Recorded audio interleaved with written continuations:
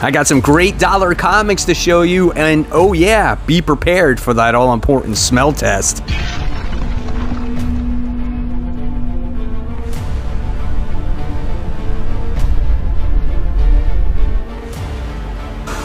Hey, all my webheads and comic book fans out there, welcome back to Comic Book Corner 2.0. And fans, I am your host, Mike Spider Slayer, always helping you make decisions of what comic books to buy. And today, guys, I'm bringing you episode 5 of Dollar Bin Diving. That's right, guys. This is the video series where each week I go to the shop and I pick up those musty, those old, those dusty dollar bin comic books, and we'll see what I can get. And don't forget, I do that all important smell test on top of it. So it's a lot of fun to see which comic books I get. So hopefully you enjoy.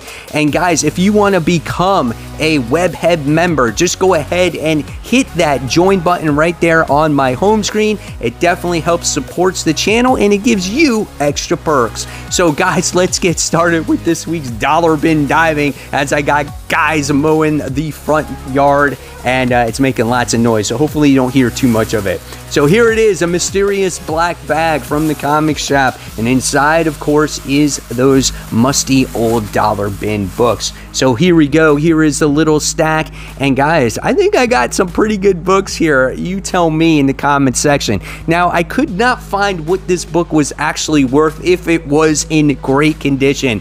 But I found issue number 90 of Green Lantern co-starring a Green Lantern, I'm sorry, Green Lantern co-starring a Green Arrow. I thought this book was awesome when I saw it. I was like, yes, I got to definitely pick this up. I love Green Lantern. Green Arrow is awesome. Classic series. This was made back in 1976. Smell test. This one's old. I this one is old, boy. Woo. Got some yellow pages. The front cover is barely hanging on, but check out the artwork in this book. Look at Hal Jordan in there. It looks phenomenal. Love this. This screams classic comics for me right here. Check it out. We got Sinestro. Is that Sinestro on there? Who is that? Not sure. But yes, you get to see our favorite heroes there doing battle. And then here's one more art page. So yes, so cool, man, to have this one. Green Lantern, Green Arrow. This is like definition of dollar bin right here. It's a little faded on the cover and stuff, right? All right, never seen this book before. The next one is Quest Probe, featuring the Human Torch and the Thing by Scott Adams. Scott Adams. So here is the exterior, or here's the cover. Looks like a Mysterio character, and you got the thing in the Human Torch on there. So that's kind of cool. Glossy cover, made in, let's see, 1985. It's got kind of some white pages in there. So here are some of the interior artwork. Looks good. Again, I never heard of this book. You guys let me know in the comments below what you thought of this. How many of you guys remember this, where it was a, a, watch that turned into a transformer? Did you guys have that? Especially for the older audience out there. This is pretty good artwork though, I like this. This could be an interesting book. Smell test, this has got to smell good. Yep, not too musty, just kind of, kind of, oh man, am I getting a little pain from smelling this stuff? I tell you, man, I don't know. But that seems pretty cool. All right, next, we have the Man Thing uh, and it says, Whatever knows fear burns at the touch of the man thing, Himalayan Nightmare. And this is issue two. This book is rough. Not so much in the front. It presents itself well, kind of well in the front, but look at the back. Look at all the stains on it. It is just a muddy mess. I can tell you, man, this one's not going to smell good. I think it's got some water damage, but here is the interior art with the man thing in there. Cool ads. Look at that. Let's check it out. No, sometimes it smells the same, man. Uh, so far, I have I have my. I'm to give you the winner of, of the whiff test in, in once we get done with this. But so far, I have my top contender. All right, next is a newer comic, I guess, kind of. Spawn issue 11. This is not new anymore, I guess, guys, because this was made in the 19 what 92 or something like that. So Spawn issue 11. I don't have this issue. Obviously, we can see the great artwork by Todd McFarlane in this book, which is so awesome. Early issues of Spawn. And for a dollar, this book is in really good shape. Here's some more of that art. Does this one smell? This smells like cigarette smoke. This is a smoker's book. Absolutely smells like smoke. That's crazy. Yep, absolutely. Oh, I don't know. Does that top the top the other one? We'll find out at the end.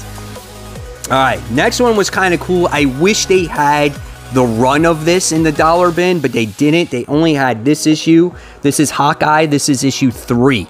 Uh, and there he is with Mockingbird. So I think that was a kind of a cool cover. And I was like, you know what? Even they, even though they only had this issue, I felt like I had to pick it up. This is a classic '80s book. I think it was '83. Yeah, I was right. I hit the I hit the uh, nail on the head there. So here we get the classic costume, right, of Mockingbird and Hawkeye. I mean, just looks totally awesome there. So cool. Excited to have this one in the collection. This one smells like a traditional comic book from that time period, not overly musty. Yeah, that smells good. All right, how many of you guys had this book in the 90s, right? Luke Cage issue 1 or just known as Cage. And this is Marvel's hottest action hero returns, first issue collector's item unleashing the power. So, yes, this was made in 1992. And so here we get to see some of that interior artwork right there. So we got Luke Cage all bulked up, ready to do some action against his enemies. Here's some more interior artwork. All right, it's pretty cool. There we go. So yeah, pretty cool stuff there.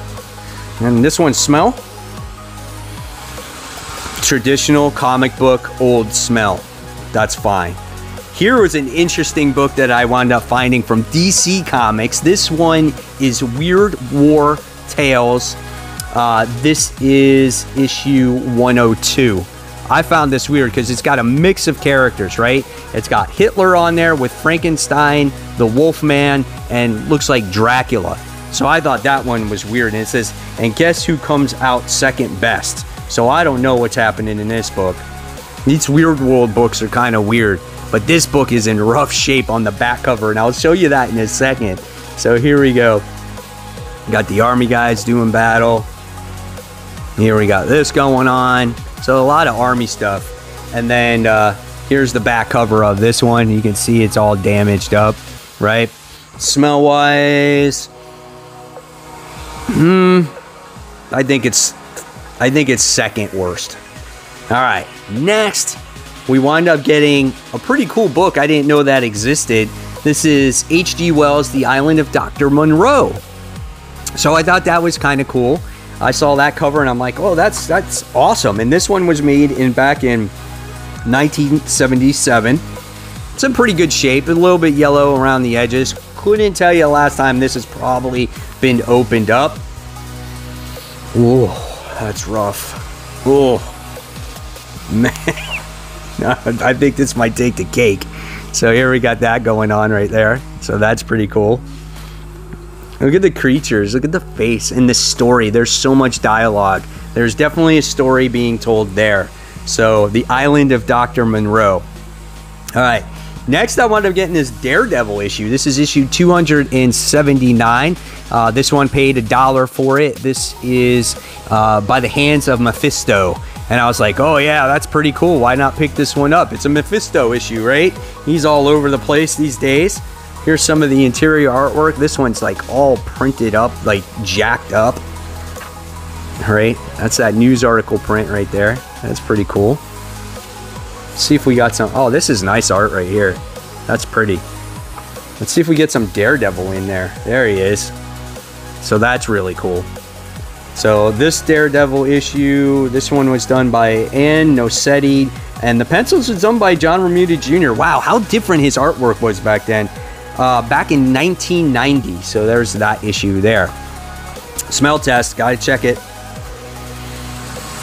Mmm, doesn't beat Doctor of Island Monroe so far. All right. Next, I wound up getting a really decent issue for a cheap price. Peter Parker, the Spectacular Spider-Man, guest starring Spider Woman. I was a huge fan of Julia Carpenter. I thought she was the hottest thing since sliced bread, man. I love the character. Such a cool character. And her teaming up with Spider Man with the same black costume, I thought was so cool back then. And they're doing battle against the Wrecker. This book is in pretty good shape, nothing wrong with it. Paid four bucks for it. Again, the highest I can pay for dollar books is five. That's my own rule. And then last but not least, I had to get this one. This is definitely the off the wall of the book of the week so far. This is Strange Adventures um, from DC Comics, right? Issue 233. Now, this cover tells a story, and I'm taking this one out of the bag and board. Because I need to see what this interior looks like in this. Oh my god, when was the last time this was open? Okay. So here's what it looks like. There's a little stain. You get to see the little wrinkles in the corners. It was 25 cents, right? 48 pages, and it says Earth's frozen heat wave. What happened on Cyrus 4, starring the Star Rovers, the man who stole the air, Adam Strange, Invisible Raiders, or of Rann. And the guy on this on the, the news reporter says, How could every drop of water on Earth suddenly freeze during a record breaking heat wave? You get to see like the kid trying to drink water and it's frozen. So it's crazy, right? And then here's some of the interior art, and it says Earth's frozen heat wave. This is definitely a weird book, man. Some of the interior. That's pretty cool. Oh, this one's rough. This is worse. I gotta do, I, I gotta check it out. This one is rough when it comes to that smell. And then the pages are so delicate in this one.